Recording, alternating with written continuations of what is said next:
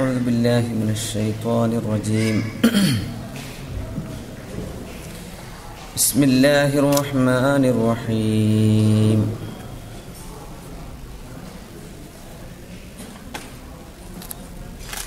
الحمد لله وبنعمته تتم الصالحات. اللهم لك الحمد ولك الشكر كما تحب وترضاه اللهم صل وسلم وبارك على عبدك ورسولك تتكلم بقرة എന്ന് പറഞ്ഞപ്പോൾ പല വിഷയങ്ങൾ അങ്ങനെയാണ് സുബ്ഹാനല്ലാഹ് റസൂലുള്ളാഹി സ്വല്ലല്ലാഹു അലൈഹി വസല്ലം പറയുമായിരുന്നു ഇന്ന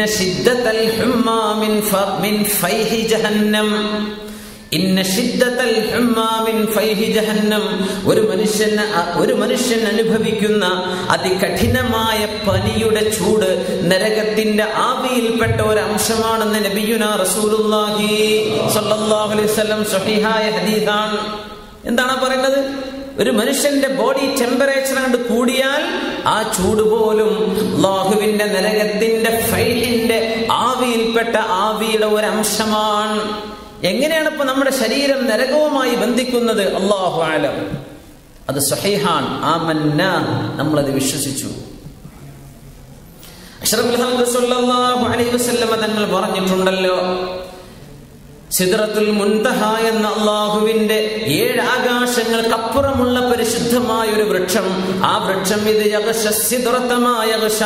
ഹബീബായ തങ്ങൾ മെഹറാജിന്റെ രാവിൽ ആ വൃക്ഷത്തെ കാണുകയും ചെയ്തു തങ്ങൾ പറഞ്ഞു ആ വൃക്ഷത്തിന്റെ മുരടിൽ നിന്ന് നാല് നദികൾ പുറപ്പെടുന്നുണ്ട്. ആ സിദറത്തുൽ മുൻതഹായുടെ മുരടിൽ നിന്നൊഴുകുന്ന രണ്ട് പുഴകൾ രണ്ട് നാലെണ്ണത്തിൽ രണ്ടെണ്ണം സ്വർഗത്തിലേക്കാണ് മറ്റേത് രണ്ടും ഭൂമിയിലേക്കാൾ സഹാബികൾക്ക് പറ- ഹബീബായ തങ്ങൾ പറഞ്ഞു കൊടുക്കുകയാണ്. ഭൂമിയിലേക്ക് ഒഴുകുന്ന ആ നദികൾ ഫുറാത്ത്. ഒന്ന് നൈൽ നദിയാണ് മറ്റേത് യുഫ്രട്ടീസ് നദിയാണെന്ന് നബിയുന റസൂലുള്ളാഹി അലൈഹി വസല്ലം. അപ്പൊ പറയാ നൈൽ നദി ഒഴുകുന്നത് ലേക്ക് വിക്ടോറിയയിൽ നിന്നാണല്ലോ. ആഫ്രിക്കൻ ഭൂഖണ്ഡത്തിലെ ഏതാനും അങ്ങ് മധ്യത്തിലേക്ക് ഈസ്റ്റ് സൗത്ത് ഈസ്റ്റിലേക്ക് വരുമ്പോ വിക്ടോറിയ തടാകത്തിൽ നിന്നൊഴുകുന്ന ആയിരക്കണക്കിന് ആയിരക്കണക്കിന് മൈലുകൾ സഞ്ചരിക്കുന്ന ഈ നദിയുടെ ഉറവിടം ഭൂമിയിലെ വിക്ടോറിയ തടാകമാണെന്ന് ഏത് കുട്ടിക്കും അറിയാം. പക്ഷേ വിധങ്ങൾ പറഞ്ഞു ഈ നൈൽ നദിയുടെ മമ്പഴിന് ഇതിന്റെ തുടക്കത്തിന് സ്വർഗസ്ഥാനവുമായി സിദറത്തുൽ മുന്തഹായുമായി ബന്ധമുണ്ട്. അതങ്ങനെ തന്നെയാണ് അതിന്റെ അർത്ഥം. അതിനങ്ങനെ ബന്ധമുണ്ട്.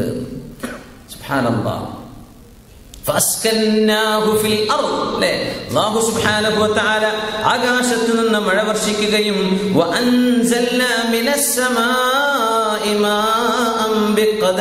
ഫഅസ്കന്നാഹു ഫിൽ അർദ്. അള്ളാഹു താലയാണ് സമായിൽ നിന്ന് വെള്ളം ഇറക്കിയത്. ആ വെള്ളത്തിൽ ഭൂമിയുടെ ഉള്ളിൽ അള്ളാഹു ചില സ്ഥലത്ത് വെള്ളം നിക്ഷേപിച്ചു വെച്ചിട്ടുണ്ട്. ഭൂമിന്റെ ഉള്ളിൽ അള്ളാഹു വെള്ളം സ്റ്റോർ ചെയ്ത് വെച്ചിട്ടുണ്ട്. അത് അള്ളാഹു ചെയ്ത പണിയാണ്. മഴ വർഷിക്കുന്നത് വേറെ. ഭൂമിയിലൂടെ ഒഴുകിക്കൊണ്ടിരിക്കുന്ന സ്ട്രീമുകൾ വേറെ. ഭൂമിയുടെ ഉള്ളിൽ അള്ളാഹു മഴയെ വെള്ളം കരുതി വെച്ചിട്ടുണ്ട് സുഹാനല്ല അങ്ങനെ വിക്ടോറിയ തടാകത്തിന്റെ ഒരു മലമുകളിൽ കിടക്കുന്ന ഈ തടാകത്തിന്റെ ഉള്ളിൽ നൈൽ നദിയുടെ ആവിർഭാവ സ്ഥാനമെന്ന് മനുഷ്യന്റെ കണ്ണുകൊണ്ട് കാണാൻ കഴിയുന്ന ഇതുപോലും സിദ്രത്തുൽ മുൻതഹായുടെ മുരടുമായി ബന്ധിക്കുന്നുണ്ട് എന്നാണ് അഷ്റഫൽ ഹൽക്ക് സല്ലല്ലാഹു അലൈഹി വസല്ലമ തങ്ങളുടെ ഹരീത പഠിപ്പിക്കുന്നത്. ബുദ്ധിക്ക് മനസ്സിലാവുന്നില്ല. ആ മന്നാബി ഖുർആൻ തുടങ്ങുന്നത് പോലും അങ്ങനെയല്ലേ? സൂറത്തുൽ ഫാത്തിഹ കഴിഞ്ഞാൽ ബിസ്മില്ലാഹിർ റഹ്മാനിർ റഹീം അലിഫ് ലാം മീം. ദാലിക്കൽ കിതാബു ലാ റൈബ ഫീഹി ഹുദൽ ലിൽ മുത്തഖീൻ. അലിഫ് ലാം മീം. എന്തിനാ പഠിച്ചത് മുമ്പുരാൻ? ആ അലിഫ് ലാം മീം എന്ന മുഖത്താഴത്ത് എന്തിനാ പറഞ്ഞത്? അലിഫ് ലാമു മീം എന്തിനാണ് അതിന്റെ അർത്ഥം എന്താ ലാ യഅലമു തഅവീലഹ ഇല്ലല്ലാഹ് അത് അല്ലാഹുവിനെ അറിയുള്ളൂ അല്ലേ سبحان الله فيه آيات محكمات وأخر متشابهات لا يعلم تأويلها إلا الله والراسخون في العلم يقولون كل من عند ربنا آمنا به ഖുർ- പരിശുദ്ധ ഖുർആാനിൽ മുഹ്കമകളുണ്ട് മുത്തശാബിഹുണ്ട് നമുക്ക് വ്യക്തമായി മനസ്സിലാവുന്ന ഒരുപാട് ആയിരക്കണക്കിന് ആയത്തുകൾ അങ്ങനെയാണ്. പക്ഷേ ചില സൂറത്തുകളുടെ തുടക്കങ്ങൾ പോലെ യാസീൻ ഐൻ ഖാഫ് അതിനർത്ഥം നമുക്കറിയില്ല. എന്തിനെ? എന്താ റാസഹീങ്ങളായ അങ്ങേയറ്റം അഗാധമായ ജ്ഞാനമുള്ള ആലിമീങ്ങൾ എന്താ ഇതിനെ പറ്റി പറയാ? നമ്മളത് വിശ്വസിച്ചു. ഇത് അള്ളാഹുവിൽ നിന്നാണ്. എന്തേ? നിങ്ങൾക്ക് മനസ്സിലാവാത്തതിൽ നിന്ന് ജഹലിൽ നിന്ന് എളിമിലേക്ക് പോകാൻ പറ്റുള്ളൂ. മനസ്സിലാവാത്തതിൽ നിന്നാണ്. എനിക്ക് മനസ്സിലാവാത്തത് ഉണ്ട് എന്നറിയുമ്പോഴാണ് മനസ്സിലാകുന്നതിലേക്ക് ഹിതായത്ത് കിട്ടുക. അതിനുവേണ്ടി തന്നെയാണ് അള്ളാഹു പല സൂറത്തുകളുടെയും തുടക്കം ഇങ്ങനെ ഹെറൂഫിൽ മുഖത്താറ്റ് ഒറ്റ വേറിട്ട അക്ഷരങ്ങളെ കൊണ്ട് തുടങ്ങിയത്. എന്തിനാ? ഇത് ഇത് ഇറക്കി തന്ന മുൻസിലായ അള്ളാഹു അതിന്റെ ഹിക്മത്ത് പടച്ചവനെ അറിയുള്ളൂ. പക്ഷെ അതിന്റെ അർത്ഥം അറിഞ്ഞാലും കൂലിയുണ്ട് അർത്ഥം അറിയാതെ ഓതിയാലും കൂലിയുണ്ട് അലിഫ്ലാമയും എല്ലാ ഖുർആാനും അങ്ങനെ. എന്തിനാ തുടങ്ങിയത്? ഞങ്ങൾക്ക് മനസ്സിലാകാത്തത് ഉണ്ട് പടച്ചവനെ നിനക്ക് മാത്രം അറിയുന്നത്. അങ്ങനെയാണ്. നമ്മുടെ കൈകൊണ്ട് എത്തിപ്പിടിക്കാൻ പറ്റും. നമ്മുടെ കണ്ണിന് പരിധിയില്ലേ? കുറച്ച് ദൂരം കഴിഞ്ഞ് നമ്മുടെ കണ്ണിന് കാണാൻ പറ്റുന്നില്ല അല്ലേ?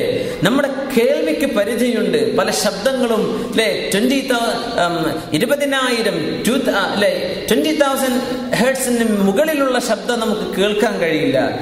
ട്വന്റി ഹേഡ്സിന് താഴെയുള്ളതും കേൾക്കാൻ പറ്റൂല. അതിന് ഇടക്കുള്ളതേ കേൾക്കാൻ പറ്റുള്ളൂ. സുഹാനല്ല നമ്മുടെ അവയവങ്ങൾക്ക് നമ്മുടെ മൂക്കിന് അതിന്റെ വാസനയുടെ ആ ഒരു സ്കിൽ അതിന്റെ പരിധിയുണ്ട്. എല്ലാം എത്തിപ്പിടിക്കാൻ അതിന് നിശ്ചിതമായി പരിധിയിലെ വർക്ക് ചെയ്യാൻ പറ്റുള്ളൂ. നമ്മുടെ ശരീരത്തിന്റെ തൊലിപ്പുറത്തിന് എല്ലാ നമ്മുടെ പഞ്ചേന്ദ്രിയങ്ങൾക്കും പരിധികളുണ്ട്.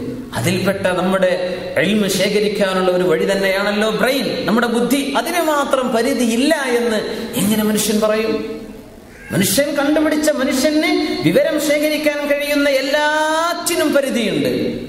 കാഴ്ചക്കും കേൾവിക്കും നമ്മുടെ സ്മെൽ അതുപോലെ തന്നെ ടച്ചിങ് ഫീലിംഗ് ഇതിനൊക്കെ പരിധിയുണ്ട്. ബുദ്ധിക്ക് പരിധിയില്ല എന്ന് പറയാൻ പറ്റും. ഈസ് ബുദ്ധിക്കും പരിധിയുണ്ട്. അതിനാണ് അള്ളാഹു തല പറഞ്ഞത്. ഇത് മനുഷ്യന്റെ ബ്രെയിനാണ്. സ്കള്ളിൽ അതിന്റെ മനുഷ്യന്റെ തലച്ചോറിന്റെ ഉള്ളിൽ തലച്ചോറിലായി അള്ളാഹു മനുഷ്യന് നമുക്ക് അള്ളാഹുവിന്റെ ശരീരത്തെ മനസ്സിലാക്കാനും അള്ളാഹുവിനെ മനസ്സിലാക്കാനും ആവശ്യമായ രീതിയിൽ ട്രില്യൺ കണക്കിന് കോശങ്ങളെ കൊണ്ട് സംവിധാനിച്ച ബ്രെയിൻ പരിധിയുണ്ടതിന് അതിനപ്പുറത്തേക്ക് മനസ്സിലാക്കാൻ പറ്റൂല.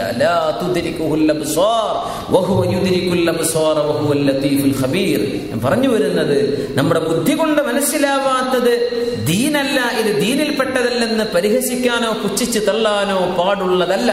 എപ്പോൾ? അത് അള്ളാഹുവിന്റെ കലാമും ഹബീബായ നബി സല്ലല്ലാഹു അലൈഹി വസല്ലമ തങ്ങളുടെ സ്വഹീഹായ ഹദീസുമാണെന്ന് ബോധ്യപ്പെട്ട് കഴിഞ്ഞാൽ പിന്നെ നമ്മുടെ ഒരു സർജറിയുടെ ആവശ്യം അതിനില്ല. ആമന്ന ബിഹി വസദ്ദഖ്ന അതാണല്ലോ ഈമാൻ. അല്ലദീന യുമിനൂന ബിൽ ഗൈബ്. ദീനിനെ ഇസ്ലാമിനെ ഇത്തരം ഗൈബിന്റെ വിഷയത്തിൽ ആക്ഷേപിക്കുന്നവരുണ്ട്. ഗൈബിന്റെ വിഷയത്തിൽ പരിഹസിക്കുന്നവർ. സുബ്ഹാനല്ലാഹ്. ഏതെങ്കിലും ഒരാൾ മനസ്സിലാവാത്ത ഒരു വിഷയത്തെ പരിഹസിച്ചാൽ മനസ്സിലായതിന്റെ പറക്കത്ത് പോലും അയാൾക്ക് നിഷേധിക്കപ്പെടും. പിന്നെ ഹിദായത്തിന്റെ കവാടം അള്ളാഹു അയാളുടെ മുമ്പിൽ കൊട്ടിയടക്കുകയാണ്. അള്ളാഹു താല പറയുന്നു ഇന്നഹു കാന ഫരീഖും മിൻ ഇബാദി യഖൂലൂൻ. ഇവിടെ എന്റെ ഒരു വിഭാഗം അടിമകൾ എന്ന് പറഞ്ഞ മുഗ്മിനീങ്ങൾ.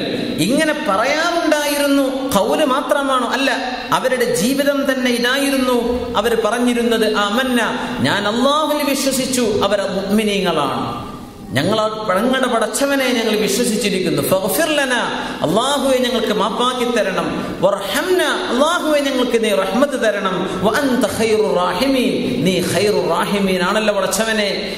എന്ന് വിശ്വസിക്കുന്ന ആചരിക്കുന്ന പ്രവർത്തിക്കുന്ന അങ്ങനെ ജീവിക്കുന്ന ഒരു സമൂഹം ഉണ്ടായിരുന്നപ്പോ ഫത്തഖത്തുമൂഹും സിഹ്രിയ നിങ്ങൾ അവരെ പരിഹസിച്ചു അല്ലേ അമ്പിയാക്കന്മാരുടെ കൂടെ കൂടിയ മുഴുവൻ ആളുകൾക്കും പരിഹാസം നേരിടേണ്ടി വന്നിട്ടുണ്ടല്ലോ. മഹാനായ സയ്യിദിന നൂഹ് അലൈഹിസ്സലാം ഷൈഖുൽ അംബിയ മഹാനവറുകളാ പറഞ്ഞത് ഇൻ തസ്ഖറു മിന്ന ഫഇന്നാ നസ്ഖറു മിൻകും കമാ തസ്ഖറൂൻ. ഞങ്ങളെ പരിഹസിക്കല്ലേ? ഞങ്ങളെ പരിഹസിച്ചാൽ ഒരു നാളിൽ ആഖിറത്തിൽ ഞങ്ങൾക്ക് നിങ്ങളെ നോക്കി പരിഹസിക്കേണ്ടി വരും. ദുന്യാവിലല്ല കേട്ടോ ദുന്യാവിൽ തിരിച്ചു പരിഹസിക്കും എന്നല്ല നൂഹ് അലൈഹിസ്സലാം പറഞ്ഞത്. ഒരു നബിയും അത് ചെയ്തിട്ടില്ല. ഒരു നബിയും പരിഹാസത്തിന് പരിഹാസം തിരിച്ചു കൊടുത്തിട്ടില്ല. ഇത് അഹ്സൻ. അതാണ് അള്ളാഹുവിന്റെ രീതി. തിന്മയെ നന്മ കൊണ്ട് നേരിടുക. തിരിച്ചു പരിഹസിച്ചില്ല പക്ഷേ ആഖിറത്തിൽ നിങ്ങൾക്കെതിരെ ഞങ്ങൾക്ക് പരിഹസിക്കേണ്ടി വരും. അവിടെ ഈ ദീനാണ് വിജയിക്കുക. എന്തേ പരിഹസിക്കാൻ കാരണം നാം ഫുഖാ ദീനിന്റെ കൂടെ ഉണ്ടായിരുന്നത്. കുറച്ചവനെ പാവപ്പെട്ട ആളുകളെ ദീനിൽ ഉണ്ടായിരുന്നുള്ളൂ. നൂഹ് നബി അലഹിസ്സലാമിനോട് വ്യക്തമായിട്ട് അവരെ സൂറത്ത് നൂഹിൽ അള്ളാഹു പറയുന്നുവല്ലോ അല്ലെ? അവർ പറഞ്ഞു നൂഹ് നബിയെ നിങ്ങളുടെ കൂടെ കൂടിയ ആളുകളൊക്കെ പച്ചപ്പാവങ്ങൾ ഒന്നുമില്ലാത്തവർ നിരാലംബർ കുറെ അടിമകൾ. ഇവരെയൊക്കെ മാറ്റി നിർത്തിയാൽ ഞങ്ങൾ പ്രമാണിമാർ നിങ്ങളുടെ ദീനിലേക്ക് വരാൻ എപ്പോഴേ തയ്യാറാണ്. പക്ഷെ ഇവരൊക്കെ ഒന്നും ഇവരുടെ കൂടെ നിൽക്കാൻ ഞങ്ങളെ കൊണ്ട് കഴിയില്ല. അപ്പോഴാണ് നൂഹ് അലഹിസ്സലാമിനോട് അള്ളാഹുന്റെ വഹി നൂഹ് നബിയെ ഒരിക്കലും അതിന് സമ്മതം മൂളരുത് ഈ പാവപ്പെട്ട ആളുകളെ നിങ്ങൾ അകറ്റി നിർത്തിയാൽ അവരെ ചേർത്ത് പിടിക്കാൻ ആരാണ്? അള്ളാഹുവിന് വേണ്ടി ത്യാഗം ചെയ്ത് വന്നവരാണ് അവർ എന്തേ അങ്ങനെ കാരണം? പാവങ്ങളെ ദീനിലേക്ക് ഏറ്റവും അടുത്ത് കൂടുതലായി കയറി വന്നത്.